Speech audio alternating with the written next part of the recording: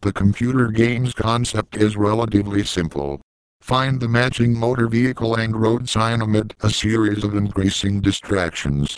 Succeed and the challenge gets quicker and harder. Cognitive training games like this one, Double Decision, are designed to improve brain functions and are at the center of a growing body of research looking at their effectiveness, as scientists strive to find ways to ward off the cognitive declines that usually come with age. A government-funded study published this month found that playing double decision can slow and even reverse declines in brain function associated with aging, while playing crossword puzzles cannot. The study builds on an earlier large trial which found that older people who played various cognitive games had better health-related outcomes, driving records and performed better at everyday tasks such as preparing a meal.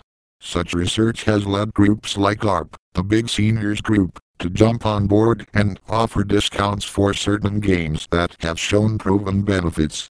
Doctors who work with the elderly say they get many questions about so-called brain games and exercises.